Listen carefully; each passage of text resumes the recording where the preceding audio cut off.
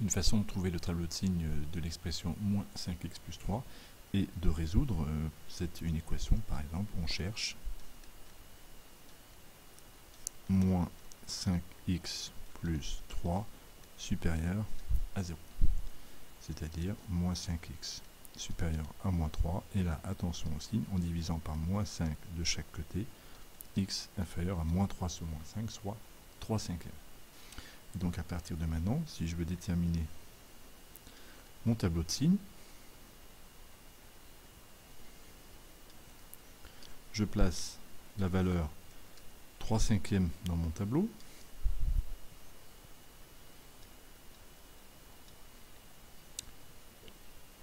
Moins l'infini à gauche, plus l'infini à droite. Ça, c'est pour mes valeurs de x. Et mon expression, moins 5x plus 3.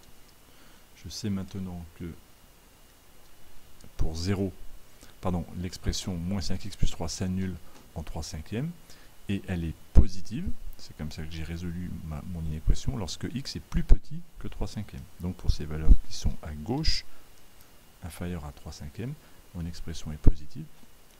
Et donc logiquement, l'expression sera négative pour les x qui sont supérieurs à 3 cinquièmes.